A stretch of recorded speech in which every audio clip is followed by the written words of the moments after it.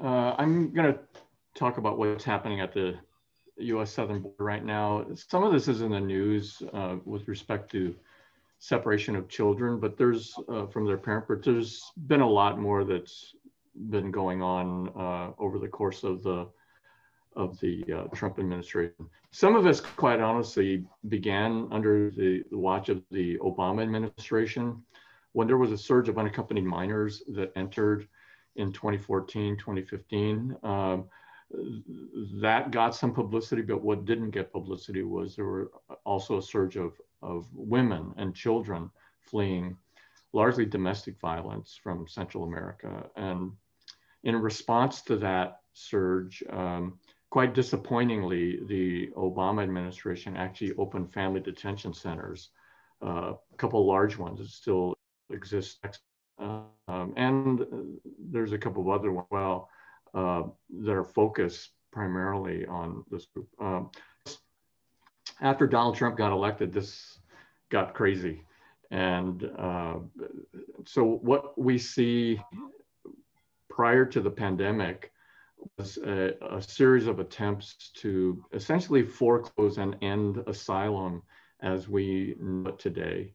Uh, again, uh, there have been uh, probably by this point over the last four years, um, a rough estimate is at least two to 300,000 folks that have fled, uh, not only Honduras, Guatemala, and El Salvador, but also certain parts of Mexico as well that are seeking asylum.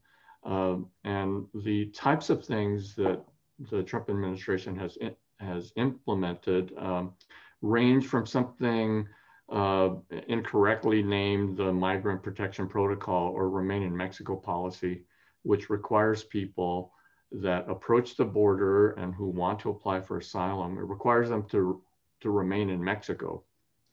Uh, along with that, there's been a policy of foreclosing asylum for people who have entered, uh, who have traveled to the southern border but crossed through a third country.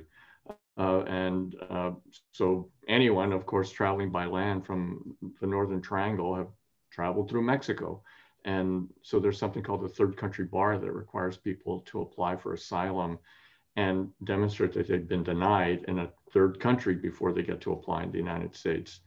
Uh, the United, uh, Trump has also strong-armed uh, Mexico, um, Guatemala, and Honduras and El Salvador into signing uh, documents called ACAs, Asylum Cooperation Agreements, that require those countries that are known for being uh, places where there's extreme violence to accept for asylum. Um, uh, in addition to that, the, the Trump administration has said that if people try to cross the border illegally, that uh, that they've got to remain in detention during the pendency of their asylum claim. Now, that was all pre COVID, and that continues today. But uh, beginning in March, uh, under the cover of COVID 19, the Trump administration uh, instituted essentially a permanent ban for anyone trying to come to the United States to apply for asylum.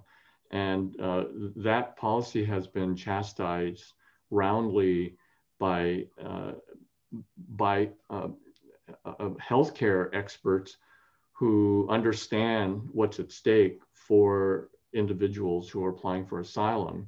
And they've complained, healthcare experts have complained to the uh, Trump administration that there actually is not a need to close the border to asylum seekers, that you can handle them in a compassionate way by handling any group that's traveling or individuals that are traveling when at, during the time of a potential pandemic. You screen them, you treat them, you uh, provide them shelter in safe places rather than relegate them to dangerous shelters and other living conditions in places like Tijuana or Nogales or Matamoros uh, in Mexico and where the pandemic can only get worse.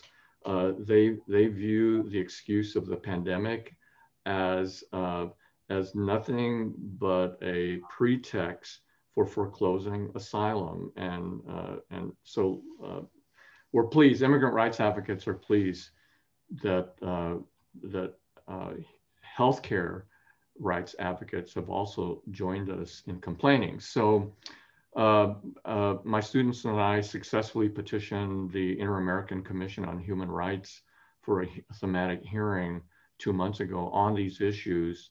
And the commission is outraged that what at the evidence that we introduced as to the human rights violations that are occurring at the southern border. And incidentally, our complaint was filed not just against the United States, but also Mexico for being complicit in these uh, these terrible uh, issues uh, related to foreclosing asylum to legitimate asylum seekers. And uh, we anticipate that the report condemning the United States and Mexico will be issued at the beginning of the year um, that outlines the tragedy that has occurred and the deaths and the illness and the violence that has been perpetuated at the US southern border uh, by the Trump administration and the, uh, and the government of Mexico.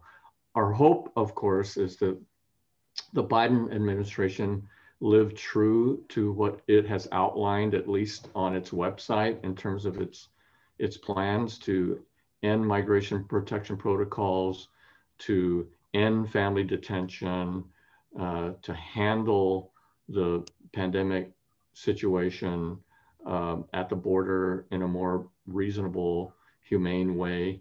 And uh, time will tell, but we know that we have to continue putting pressure on the Trump, uh, not just Trump, but on the incoming Biden team to make sure that they live up to the spirit of the words that they've outlined. And, um, and we're, we're somewhat hopeful, but the damage has been done and it's going to take a long time to remedy what has occurred.